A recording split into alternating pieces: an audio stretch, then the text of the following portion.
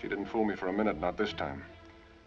I knew I had hold of a red-hot poker, and the time to drop it was before it burned my hand off. I stopped at a drive-in for a bottle of beer, the one I had wanted all along. Only I wanted it worse now to get rid of the sour taste of her iced tea and everything that went with it.